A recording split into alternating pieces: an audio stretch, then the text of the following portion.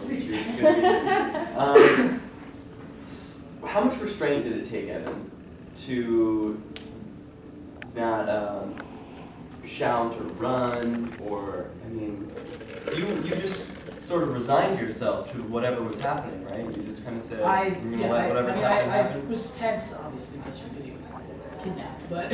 Um, I I tried to the whole time I was I was talking to them. I, I tried to you know at least open up into a dialogue with them.